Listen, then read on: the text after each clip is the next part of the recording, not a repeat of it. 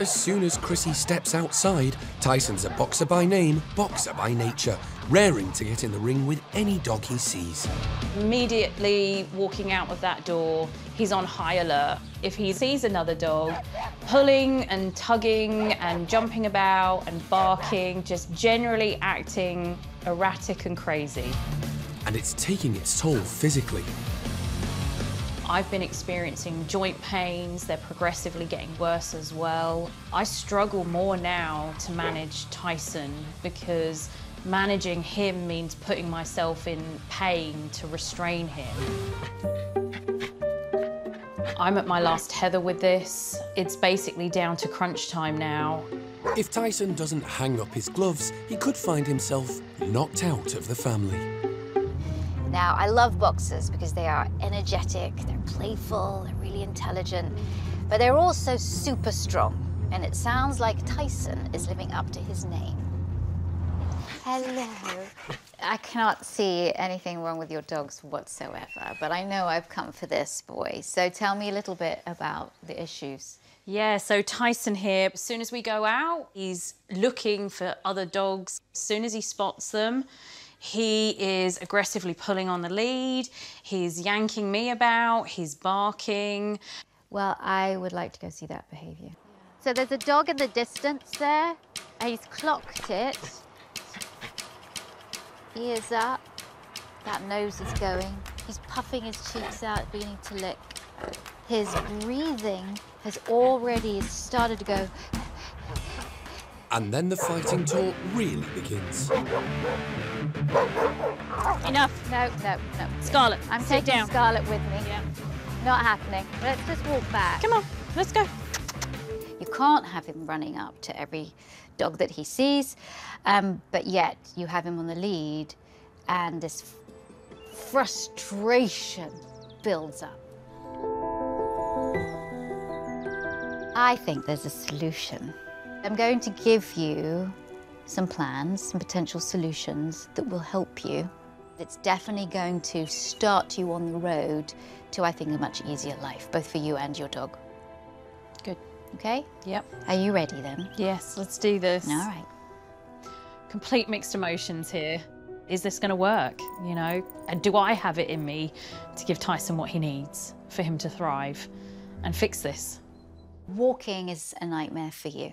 And I don't think it's that fun for him. As soon as he's in that mode, you've lost him. Yeah. All you can do is turn around and leave. So we need to get him before he gets there. Okay. And that is why we're doing this training. And I call it, hey, where's the dog? I look at the dog, look back at you. We have this predictable sequence. And it takes the emphasis off that dog and puts more of the emphasis on you working together as a team. At first, Victoria is using a brightly coloured bottle to represent the distraction. In Tyson's case, another dog. I'm going to take an object, it's behind my back. I need him to look at it and then look away at me. Yes. And he's going to get a piece of food. Simple as that. Immediately he looked at the object, looked away real fast. And then after a while, I'm going to put a cue. I'm going to say, it's like a little phrase, where's the bottle? Okay? Where's the bottle? Yes. Where's the bottle? Yes. So, I want you to try it. Teaching Tyson to look back at Chrissy every time he sees a distraction, in this case the bottle, is helping create a new pattern. He's learning every time he sees something unusual, if he looks back to Chrissy instead of going towards it, he gets a reward. That's all we can hope for at this stage. Don't even say with the cue words. Your timing is great. Yes. Nice. Yes. Well done. It's very quick, isn't it? Mm-hmm. Very quick. I don't know if when we take it outside and there's another dog, if this is going to work, right? But I've had great success with this, so we'll see, okay? All right. All right. We practiced in the house where we produced a novel object and he was able to look, turn away from that object and look at you. And that's basically telling him you engage with this and then immediately disengage and look at me. We're now going to introduce a dog. Fellow trainer Lily is standing by with her non-reactive dog Jasper at the far end of the field. So I know he's going to clock the dog. And immediately he clocks the dog. Then we have to go to work.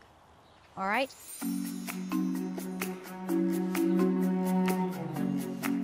Sees the other dog. Here we go. Tyson! Yes! Good boy. All right. Training at home with the bottle to look at the distraction and look back seems to have built a solid foundation. But what if Victoria and Tyson move a little closer? We're getting a lot closer. He's not barking and lunging, but Tyson's focus on the dog is proving difficult to break. He looks at the dog and goes, Boy. No, he did it. Saw it. Oh, you did the best. yes, thank you. Thank you. This is teamwork with your dog. Teamwork. Come here, Mama. Take over. Now it's time for Chrissy to give it a go. Good. he adores you. He adores you. That's it. Just walk a little bit. Let him clock. If he doesn't turn back by himself, then give him a little hey, Tyson.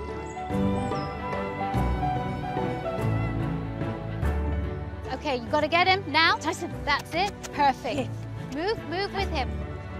move with him. Let's go. That's it. Here. There you go. Good. Tyson still needs encouragement to look away from the dog, but Chrissy is able to get his attention before he reacts, which is a big step in the right direction. Yes. Oh, what's that? That's enough for today. Okay. I thought you did very well. Well, that was such a difference in him. you could still see he was conflicted back and forth, but Really? he knew what he had to do. How are you feeling? Me and Tyson are going to have to really keep working at it. Yeah. But at the same time, I mean, he's he's responded so well to it. So I feel very positive that that's only going to get better. So slow and steady wins this race. Yeah. Good luck, all right? Yes. Thanks for watching. If you love It's Me or the Dog and want more dog training tips and tricks, visit my official site positively.com. And if you're interested in learning more about becoming a dog trainer, check out the Victoria Stilwell Academy. Links to both sites are in the description. I'll see you online.